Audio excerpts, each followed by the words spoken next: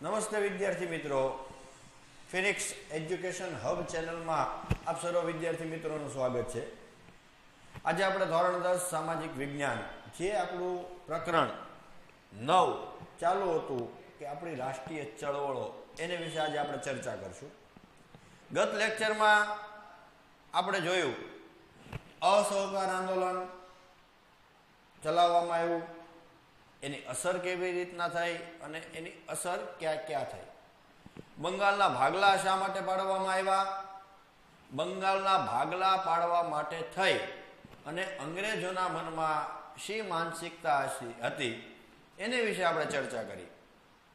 પછી મિન્ટોઝ કોણ હતા અને એણે કયા ભાગલા પાડ્યા? જેને લીધે થઈ એના પરિણામ આજે પણ આપણે ભોગવીએ છીએ.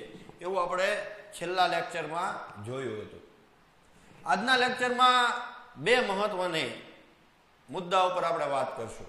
એક જલિયાવાલા બાગ અને એક રોલેક્ટ એક્ટ.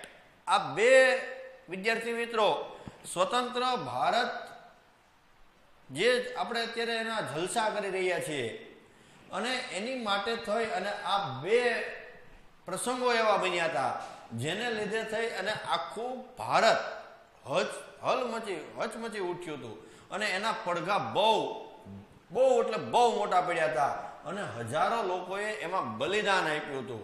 આ બે એવા ટોપિક આજના છે, જેને આપણે કદાચ ક્યારેય કોઈ ક્યારેય અંગ્રેજોને આપણે એને આ ટોપિક ઉપર તો ક્યારેય આપણે એને માફ નહીં કરી શકીએ. હવે, આપણે આગળના લેક્ચરમાં કીધું હતું કે ભારત દેશ આપણે અત્યારે જે વાતો કરી રહ્યા છીએ એ આઝાદી પહેલા, એટલે કે આપણે પંદરમી ઓગસ્ટ ઓગણીસો ને સુડતાલીસના દિવસે આપણને આઝાદી મળી. એ પહેલાના દિવસોની આપણે વાત કરી રહ્યા છીએ.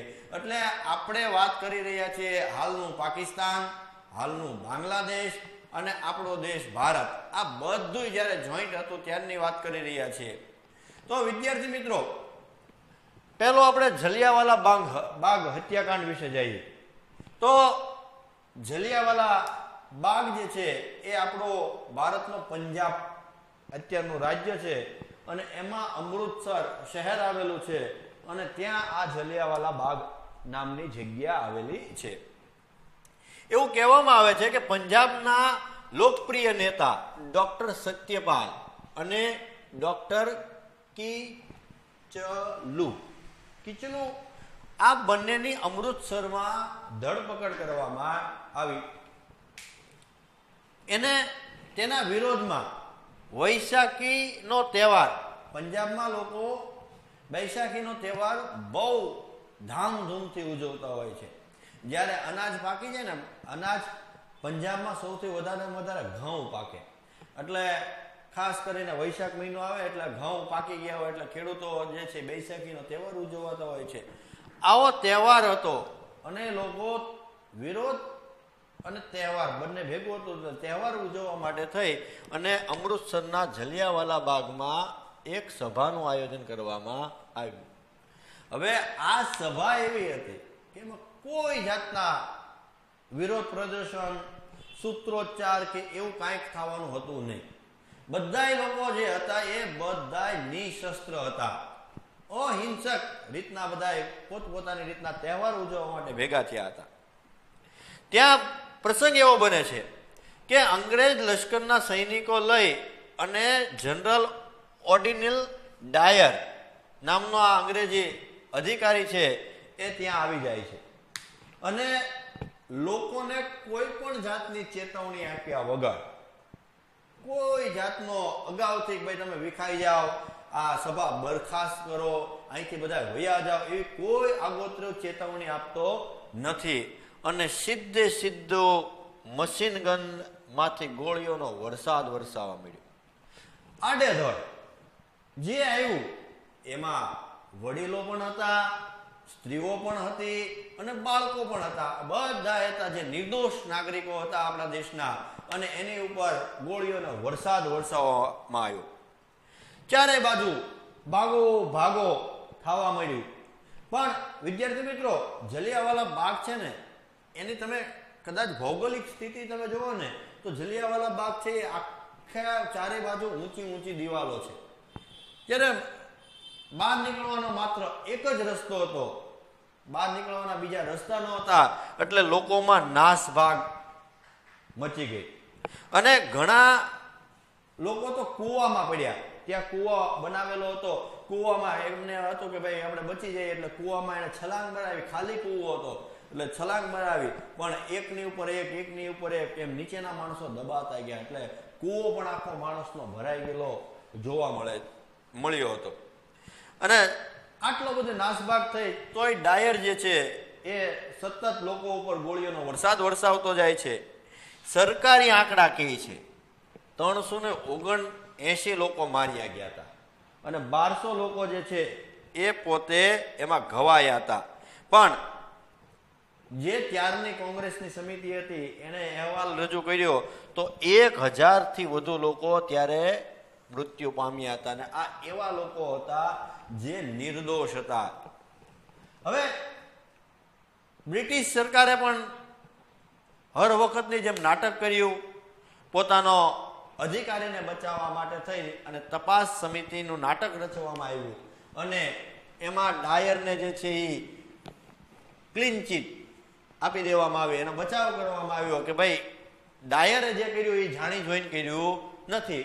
અજાણતા તેની થયેલી પ્રમાણિક ભૂલ ગણવામાં આવી. આમ કરી અને એને નિર્દોષ જાહેર કરવામાં આવ્યો અથવા એને છોડી મૂકવામાં આવ્યો. બીજી બાજુ એવું થાય છે કે જ્યારે ડાયર રિટાયર્ડ થઈ અને ઇંગ્લેન્ડ પાછો ફરે છે, ત્યારે તેને બે હજાર પાઉન્ડ અને તલવાર એને ભેટ આપવામાં આવે છે. એની સરકારે આવો એને હત્યાકાંડ કર્યો ને, એને લીધે છે એને ઇનામ તરીકે પ્રોત્સાહિત કરવામાં આવ્યું. હવે આ જે હત્યાકાંડ થયો, એને લીધે થઈને સમગ્ર ભારત જે છે હચમચી ઉઠ્યું હતું. અને ગાંધીજી સહિતના તમામ લોકો આમાં વિરોધમાં જોડાયા હતા. પણ ગાંધીજીને અંગ્રેજો પ્રત્યે થોડી ઘણી પણ સહાનુભૂતિ હતી અને એના પ્રત્યે જે શ્રદ્ધા હતી ને એ પણ ડગી ગઈ હતી કે અંગ્રેજો શું કરે ને કાંઈ નક્કી નહીં. હવે આ બનાવ એવો બન્યો જેને લીધે થઈને રાષ્ટ્રીય એકતા એકદમ જાગૃત થઈ ગઈ. બધાય ભાઈચારો જે આપણામાં હિન્દુ મુસ્લિમને કોમવાદ ને શીખ ઈસાઈને એવી રીતના કોમવાદ હતો.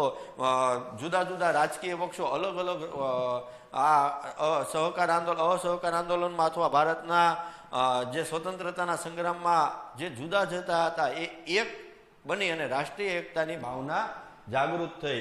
અને આ આંદોલન આમાં મહત્વની ભૂમિકા ભજવી. હવે વિદ્યાર્થી મિત્રો, રાષ્ટ્રીય ભાવના એ જાગૃત થઈ ગઈ. એટલે આપણા જે ક્રાંતિકારીઓ હતા, આમાં આપણે હજી વાત કરવાની છે જવાળવાદ અને મવાળવાદ કોને કહેવામાં આવે છે? જો કે આપણે નાના ધોરણમાં, આઠમા ધોરણમાં જવાલ અને મવાળવાદના નેતાઓ, એના કેવી રીતના ભાગલા પડ્યા એ બધું આપણે શીખી ગયા હતા. પણ આ ડાયર જે છે, એને આપણા જે ક્રાંતિકારી જે ઉધમસિંહ જે છે, એના મગજમાં ઘૂસી ગયું હતું કે મારે તો ગમે એમ કરીને મારા દેશના જે નિર્દોષ લોકોને માર્યા છે ને, એને મારે એ ડાયરને ગમે એ પ્રમાણે મારે એને મારી જ નાખો. અંગ્રેજોએ ભલે એને નિર્દોષ જાહેર કર્યો. આ ઉધમસિંહ જે છે ને, એ ઓગણીસો ને ચાલીસ તેરમી માર્ચ જે છે, ત્યાં લંડનમાં એનું ડાયરનું સન્માન થતું હોય છે અને એક સભામાં તે પોતે અધ્યક્ષ તરીકે આવે છે. આટલો બધો ચુસ્ત બંદોબસ્ત કે ત્યાં એક કેમ કહેવાય ને કે હિન્દીમાં કહેવાય, પરિંદા બી પર નહીં માર શકતા. એવી સિક્યોરિટી ટાઈટ પણ ઉધમસિંહે મગજમાં નક્કી કરી નાખ્યું હતું કે ડાયરને ગમે એમ કરીને મારે એને મારા દેશના નાગરિકોને ન્યાય અપાવવા માટે તેને મારી નાખવો છે.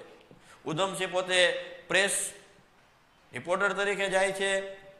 પોતાના પુસ્તક, એટલે એક પુસ્તક હોય છે ને પુસ્તકની અંદર બંદૂકની જગ્યા કરી નાખે એવી રીતના પાના કાપી અને પુસ્તકમાં બંદૂક સંતાડી અને ઉધમસિંહ જાય છે. અને ઉધમસિંહે તેરમી માર્ચ ઓગણીસો ને ચાલીસના દિવસે એ જનરલ ડાયરને એના દેશમાં જઈ અને મારી અને આપણા દેશના લોકોને જે અન્યાય થયો હતો એનું વેર વસૂલ વાળેલું હતું. તો આવું બધું જલિયાવાલા બાગ એ આપણા રાષ્ટ્ર માટે ખૂબ જ મહત્વની ઘટના બની, જેને લીધે થઈ અને સ્વતંત્રતાના આંદોલનને ખૂબ ખૂબ ખૂબ વેગ મળ્યો. ત્યારબાદ રોલેક ટેક જે ઓગણીસો ને ઓગણીસમાં આવ્યો. આમાં મુખ્ય મુખ્ય શું હતું તો કે ભાઈ કાયદા પ્રધાન રોલેટના અધ્યક્ષતાને આ કાયદો ઘડવામાં આવ્યો. એનો મેઇન ઉદ્દેશ હતો કે ક્રાંતિકારીઓને દમન કરવાનું. દમન એટલે કે ભાઈ, એને હેરાન કરો. ગમે એમ કરીને છે ને ક્રાંતિકારીઓએ આ અંગ્રેજ સરકારને નાકે દમ લાવી દીધો હતો. એટલે રોલેક્ટ એકને કાળો કાયદો પણ કહેવામાં આવે છે. એને વાણી સ્વતંત્રતા અને વ્યક્તિ સ્વતંત્રતા એની છીનવાઈ ગઈ. કોઈને બોલવાનું નહીં, અંગ્રેજો વિરુદ્ધ. કોઈને કાંઈ લખવાનું નહીં. ગમે ત્યારે, ગમે ત્યાંથી, ગમે એમ કરી અને અંગ્રેજ સરકાર લોકોને ઉપાડી જાય, એની ઉપર કેસ પણ ન થતા હતા. કોઈ પણ કારણ વગર એને પૂરી અને જેલમાં મૂકી દેતા હતા. ગાંધીજીના મતે આ કાળો કાયદો હતો, નહેરુજીના મતે દલીલ અને અપીલ અને વકીલાતનો અધિકાર છીનવાઈ ગયો એવો કાયદો હતો. હંમેશા કોઈ ગુનો કરો, કોઈ ગુનેગાર હોય તો એનો કેસ ચાલે, એને વકીલ મળે, એને પોતે નિર્દોષ થવા માટે થઈ. તમે સબૂત પુરાવો તમારે આપી, આપવાના હોય છે. આ કાયદામાં અંગ્રેજોએ એ બધું આપણી પાસેથી છીનવી લીધું હતું. આ કાયદાથી ગાંધીજીની દિલ્હીમાં અને પંજાબમાંથી સત્યપાલ અને ડોક્ટર કિલ લચુની ધરપકડ કરવામાં આવી જેણે જેણે વિરોધ કર્યો એ બધાને આ અંગ્રેજ સરકારે જેલમાં પૂરી દીધા અને વિરોધ કરવાનો જે અધિકાર હતો એ આપણો અંગ્રેજ સરકારે લઈ લીધો. વિદ્યાર્થી મિત્રો, આજનું આપણું આ લેસન જે બોર્ડ વર્ક કરેલું છે, એ બોર્ડ વર્ક ખાસ તમે જોઈ લ્યો અને આ મુદ્દા પ્રમાણે તમારે એક વખત સરસ મજાનું નોટમાં લખવાનું છે અને જે આપણી સંસ્થાના બાળકો છે એની માટે હું આ વિડીયોની સાથે સાથે હોમવર્ક જે મૂકું છું, એ પણ તમારે પાક્કી નોટમાં સરસ મજાનું લખી અને મને બતાવવાનું છે. અને તમને આ ચેનલ ગમી હોય તો તમે લાઇક કરો શેર કરો અને સબસ્ક્રાઈબ કરો.